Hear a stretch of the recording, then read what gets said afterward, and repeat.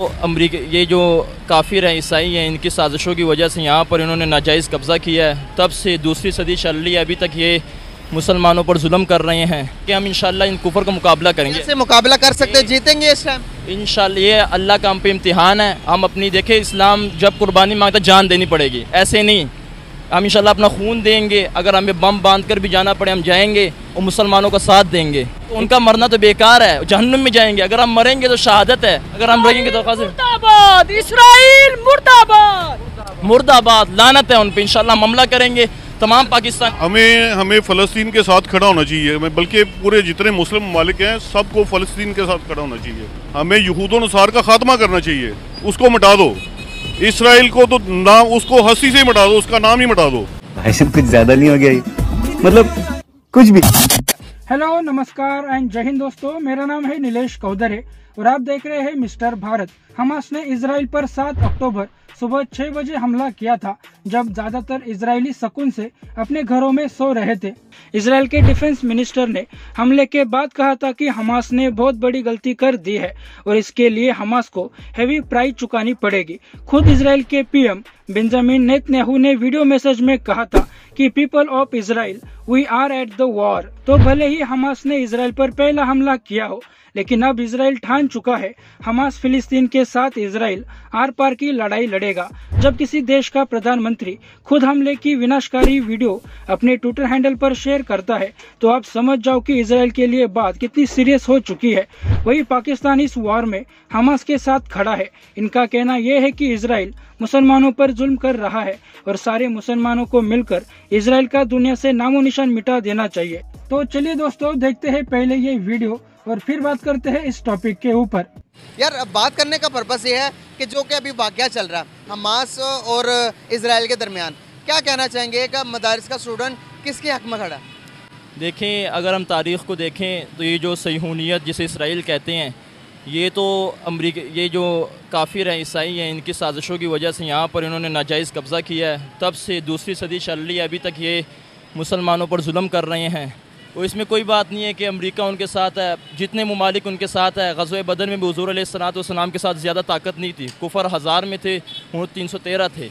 तो इन अब हम चाहिए मुसलमानों को मेरी अपील है कि चाहे वो जिस फिरका छोड़ो मुतहद हो जाओ। सर आ, उनके उनके हौसले भी बुलंद थे उनके अगर जज्बात भी बुलंद थे उनके पास इलम की दीन की पूरी समझ भी थी। ना हमारे पास अभी जो हालात चल रहे हैं आपको लगता है कि दीन की समझ अकल और शूर वो वाली चीज़ें हैं अभी भी? जी बिल्कुल माशाल्लाह मुसलमान है माशाल्लाह कलमा गो है। जैसा कि अल्लाह का फरमान है कि अगर ज़मीन पर जब तक एक कलमा सिर्फ़ कलमा पढ़ने वाला उसके मुसलमान नाम का होगा तो तब तक अल्लाह ताला कहते हैं मैं दुनिया को बाकी रखूँगा। कि अल्लाह के यहाँ एक मुसलमान की कीमत इतनी है कि दुनिया पूरी अल्लाह ताला एक मुसलमान के लिए भी रख सकते हैं। अरे सुधरो रे अभी तो अभी तो सुधर जाओ। अल्लाह के पास अल्लाह के लिए हमारी कीमत है लेकिन हमारी कीमत दुनिया के लिए कुछ भी नहीं। आप मुझे बताएँ कि हमने क्या कंट्रीब्यूशन किया अभी तक अपने लिए, अपने आप को बचाने के लिए और पूरी दुनिया को बचाने के लिए। आज अगर सतानवे फिफ्टी सेवन इस्लामिक कंट्रीज़ हैं और फिफ्टी सेवन इतने बैकवर्ड पे जा चुके हैं, उनकी कोई बात ही नहीं सुनता। आप देखें इसराइल छोटा सा एक नुकते बराबर मुल्क है और वो एक नुकते बराबर मुल्क पूरी दुनिया को लीड कर रहा है इस टाइम अभी पूरी दुनिया इसराइल के साथ खड़ी है। क्यों खड़ी है? जी, दुनिया जो इस टाइम कुफर ज़्यादा इस्लाम हर दौर में कम है तो इसका ये मतलब नहीं इन बस हम ये कहेंगे कि हम इन इन कुफर का मुकाबला करेंगे। कैसे मुकाबला कर सकते हैं? जीतेंगे इस टाइम इन ये अल्लाह का हम पे इम्तिहान है। हम अपनी देखे इस्लाम जब कुर्बानी माँगता जान देनी पड़ेगी। ऐसे नहीं। हम इन अपना खून देंगे। अगर हमें बम बाँध कर भी जाना पड़े हम जाएँगे और मुसलमानों का साथ देंगे। यानी कि शोरकट बात यह कि वो ज़्यादा हम कम हैं।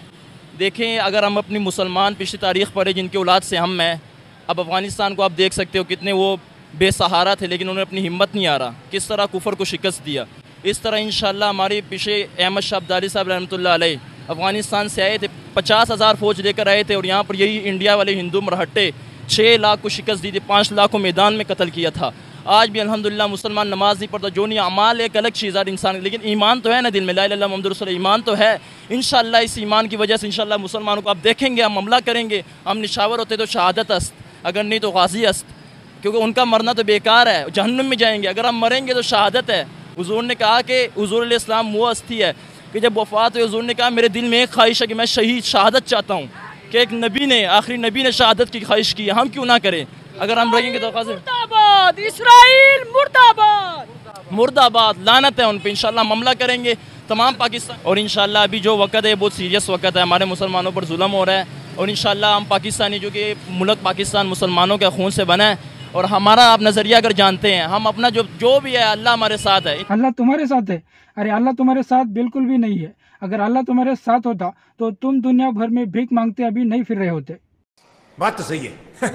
हमें हमें फ़लस्तीन के साथ खड़ा होना चाहिए। मैं बल्कि पूरे जितने मुस्लिम ममालिक हैं सबको फ़लस्तीन के साथ खड़ा होना चाहिए। ठीक है? उसकी क्या वजह? मुस्लिम ममालिक है। हमें यहूद नसार का खात्मा करना चाहिए। अच्छा। हाँ जी। मतलब दुनिया से मिटा दो। उसको मिटा दो। इसराइल को तो नाम उसको हँसी से ही मिटा दो उसका नाम ही मिटा दो। सर उसकी क्या वजह? काफिर कौम है वो। अच्छा काफिरों को मिटा देना दुनिया से। बिल्कुल मिटा दो। उसको बिल्कुल कोई हक नहीं उसको। क्या सोच है रे तेरी? मानना पड़ेगा। तो दोस्तों आपने ये वीडियो देखी जिस तरह से पाकिस्तानी मदरसे में पढ़ने वाले बोल रहे हैं कि काफिरों को खत्म कर दो इसराइल का नामो निशान मिटा दो। जो इसराइल चारों तरफ़ से मुस्लिम देशों से घिरा हुआ है। इतने साल तो तुम उसका कुछ भी बिगाड़ नहीं पाए। उल्टा इसराइल ही समय समय पर अपने दुश्मनों को पेलता रहता है और इस बार भी पेल रहा है। खुद इसराइल के पीएम बेंजामिन नेतन्याहू ने गाजा हमले की विनाशकारी वीडियो अपने ट्विटर हैंडल पर शेयर की है। एक तरफ़ इसराइल एक सुपर पावर, लेकिन डेमोक्रेटिक तरीके से चलने वाला देश है, और दूसरी तरफ़ हमास एक डेजिग्नेटेड आतंकवादी ऑर्गेनाइजेशन है। इनके लिए युद्ध के कोई नियम नहीं है। हमास ने इसराइल पर हमला करके इसराइल को घायल ज़रूर कर दिया था, लेकिन अब इसराइल एक घायल शेर की तरह है और इसराइल के पीएम ने इसे युद्ध घोषित कर दिया है। इसका सबूत ये है कि इसराइल ने जो गाजा में हमला किया है, उसमें आतंकवादियों की लाशें बिछा दी गई है। और इधर ये पाकिस्तानी जाहिल बोल रहा है कि इसराइल का इस दुनिया से नामो निशान मिटा देना चाहिए। इसराइल को रोकना तुम्हारे बस की बात नहीं है। इसराइल तुम पाकिस्तानियों और तुम्हारे आकाओं के बहुत आगे की चीज़ है।